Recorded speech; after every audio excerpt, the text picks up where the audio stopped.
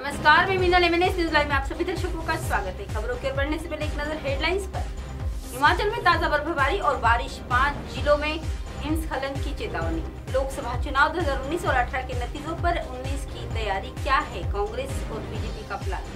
मुझे मेरी बीवी से बचाओ, बीजेपी की नेत्री के पति ने लगाई पुलिस से गुहार।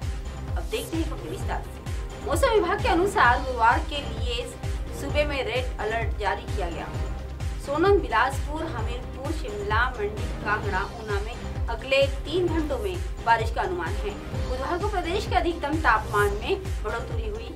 ऊना में अधिकतम तापमान बाईस दशमलव शून्य, सोलन में बीस दशमलव शून्य, सुंदरनगर में उन्नीस दशमलव नौ, बिलासपुर में अठारह दशमलव आठ, कांगड़ा, हमीरपुर में अठारह दशमलव पाँच और कांगड़ा में दस दशमलव शून्य सेल्सियस रिकॉर्ड हुआ। इसके अलावा कुल्लू और लाहौर ऊँची चोटियों पर भारी बर्फबारी हुई।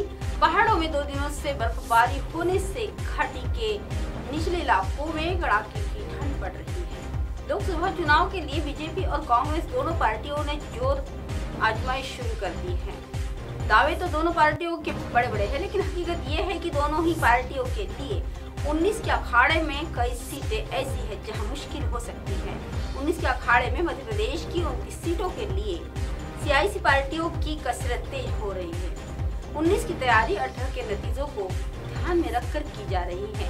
विधानसभा चुनाव के नतीजों को आधार बनाए तो बीजेपी के लिए नौ सीटें, जबकि कांग्रेस के लिए एक दर्जन सीटों पर खतरा बरकरार है। हालाँकि बीजेपी और कांग्रेस दोनों ही फ़िलहाल अपने पत्ते खोलने के लिए तैयार नहीं है। मध्य प्रदेश के सीधी ज़िले में जिला पंचायत सदस्य और भाजपा नेत्री उषा गोपाल पर उनके पति ने ही प्रताड़ित करने का आरोप लगाया है। पीड़ित पति अजीत पटेल ने पत्नी उषा के खिलाफ थाने में प्रताड़ित करने और जान से मारने और जायदाद में हिस्सा मांगने का आरोप लगाते हुए शिकायत दर्ज करवाई है। पीड़ित अजीत का कहना है कि वह और उषा करीब पाँच माह से अलग रह रहे हैं। फिर भी वह उसके परेशान करती है और जान से मारने की धमकी देती है। फ़िलहाल पुलिस शिकायत दर्ज कर मामले की जाँच शुरू कर दी है। तो खबरों में आज के लिए इतना ही। एम एमएनएस नज़र की खबर देखने के लिए आज प्ले स्टोर से एमएनएस हिंदी ऐप डाउनलोड कर हमारे चैनल को सब्सक्राइब करें।